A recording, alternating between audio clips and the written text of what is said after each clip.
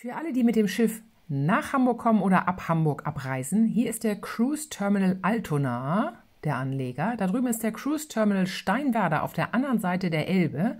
Als Referenz seht ihr jetzt nochmal hier Blom und Voss und dann die Elbphilharmonie und die Landungsbrücken in Hamburg.